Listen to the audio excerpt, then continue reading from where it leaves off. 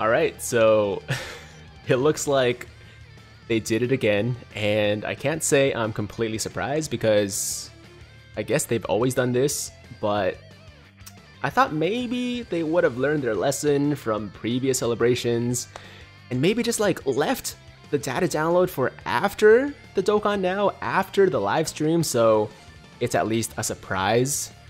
But uh, I guess not. So we did get a data download for the LR Super Saiyan Goku and uh, int. Uh, is it int full power Frieza? I think it's int full power Frieza and STR Goku. I forgot, but either way, uh, we have their details now. We have the animations, we have the OSTs, we have everything that we need to know. Everything that they were supposed to save for the Dokkan Now but uh, it is what it is, I guess. Now, uh, in this video, what I'm gonna do is go through the uh, assets, go through the details for each unit, but I'm not gonna watch the animations, okay? Because at the very least, I want to keep those a surprise. I want to have a genuine reaction to them during the Dokkan Now program. So if you guys want to see those, uh, they're all over YouTube right now, all over Twitter, so feel free to go check those out. But for the purpose of this video, I'm not gonna play them. Okay, so uh, yeah, we got the arts for the Goku. This is the SSR, this is the TUR, and this is the LR, and they look fantastic, man. I love all three. Um, gotta be my favorite SSR art in the in the entire game, I think, or at least close to it, because that looks very very nice. And then the TUR, the LR, of course, is awesome. And then we have the full power Frieza. This is the SSR. There's the TUR and we have the LR as well, really, really clean. And uh, from there we have, I think this is an awakening for an older Vegeta or maybe a free-to-play Vegeta. I'm not really sure what this Vegeta is from. Like, is it a new free-to-play unit or a TUR? I don't know, but we got a new Vegeta. We have this uh, third form Frieza, which is the side unit for Frieza's banner. And I believe that's the SSR and TUR. And then we also have the new Piccolo, which is the side unit for the uh, Goku banner. And there's the SSR and TUR. And then we also have a Dokkan Awakening for the super old STR Super Saiyan Goku. And uh, we also have the new categories for Goku and Vegeta uh, respectively. So Goku's banner is called Legendary, or sorry, not banner, his uh, category is called Legendary Existence. And then Vegeta's banner, or sorry, not Vegeta, uh, I'm all messed up right now, man. The Frieza category is Sworn Enemies. Okay, so Sworn Enemies for Frieza, and then Legendary Existence for Goku. So there you go. Now let's pop over to another page here. We have uh, Harry Turney. Big shout out to him. He provided us with the translations for all of the new units. So uh, yeah, thank you very much. Really appreciate it. And I'm gonna actually pop over to the close-ups here. So Starting with the Goku, let's just zoom in a little bit. Uh, I'm pretty sure you guys can see, but it might be a little bit small, but I'll read it out of course. So, leader skill is Legendary Existence or Super Saiyans, category Ki plus 3, HP attack plus 170%, defense plus 150%. So obviously Super Saiyans was expected, and then Legendary Existence is the new category. Super attack 12 key, raises defense and causes mega colossal damage, and then the 18 key super raises attack and causes mega colossal damage. So they both cause mega colossal damage. So they're both going to be hitting really, really hard. And um, a lot of times you actually probably want to get that 12k super for longer events just to build up his defense. But if you are not too worried about his defense, which you shouldn't be because he's going to be pretty tanky uh, from the start, then uh, you can go for that 18k super. But either way, since they're both mega colossal, they're both going to be hitting pretty damn hard. And then the passive is Q plus 2, attack and defense plus 159%, launches an additional super attack within the same turn after receiving an attack, and then plus an additional attack plus 59% and medium chance of launching an additional super attack as the second or third attacker in a turn. Q plus 1 at start of each turn, up to Q plus 3, plus an additional attack plus 59% when there is an extreme class enemy. Performs a critical hit when there's an enemy whose name includes Frieza, Frieza, Frieza Soldier, uh, excluded. Okay, so this is actually my first time seeing these details, and what I'm going to say right now is he is going to be hitting extremely, extremely hard, especially against extreme class enemies. And he's also going to be getting double supers a lot of times as the first attacker, and um, he's pretty busted, man, because getting two supers would raise his defense twice if you, you know, double 12 key, or raise attack and defense if you 18 key and then 12 key. Um, and he's getting a huge attack boost. Yeah, 159 plus 59 plus 59. With his LR stats, uh, yeah, he's busted. that, I know it's an overused word, but it's very accurate here. He is mad busted.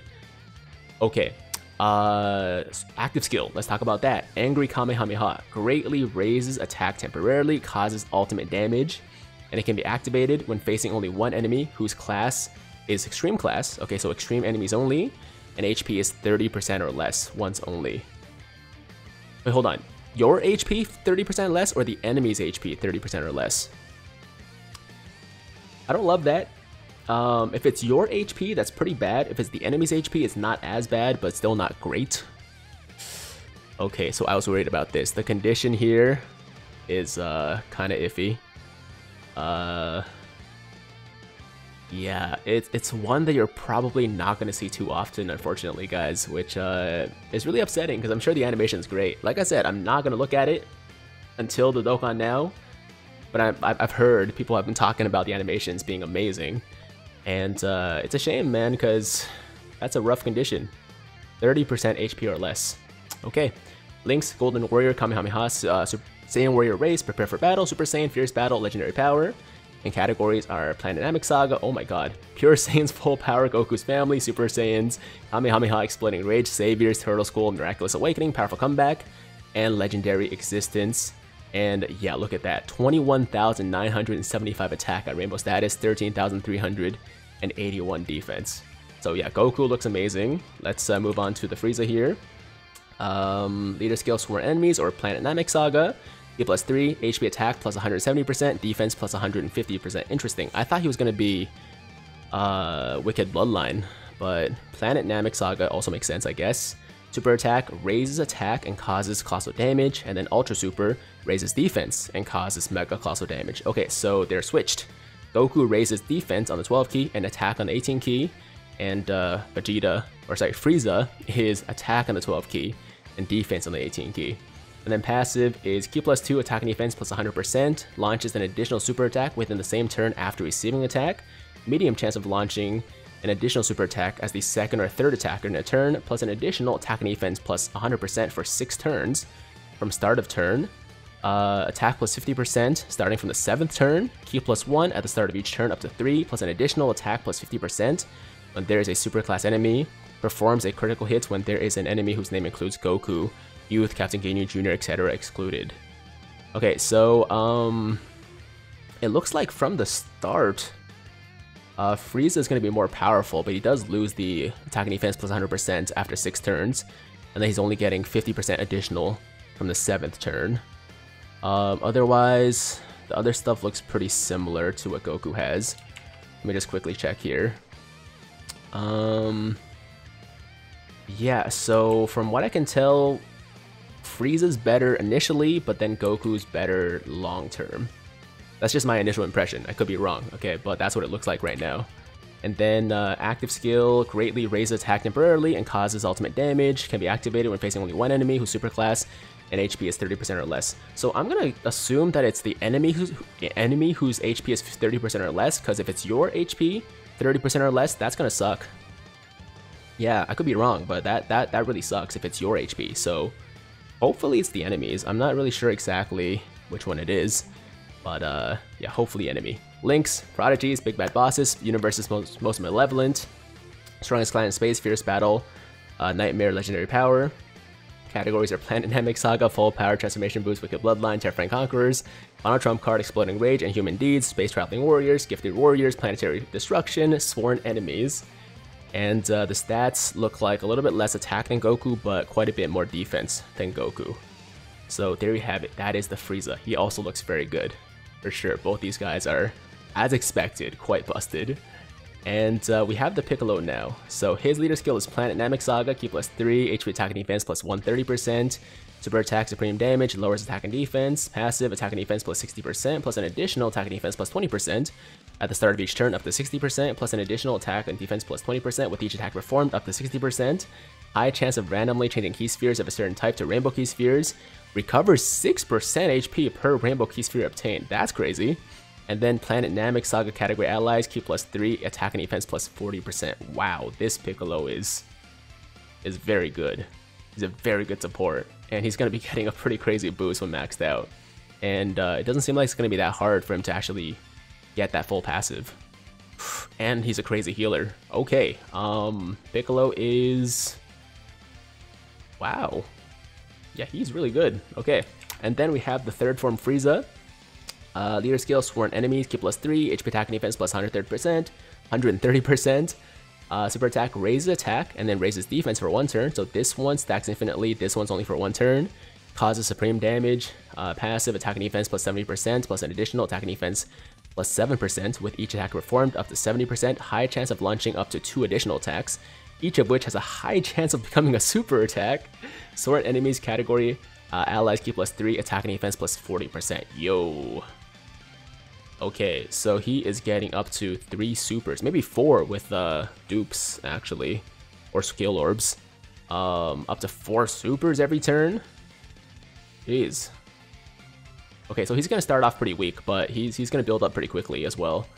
Um, so both the Piccolo and Frieza look great, just in different ways.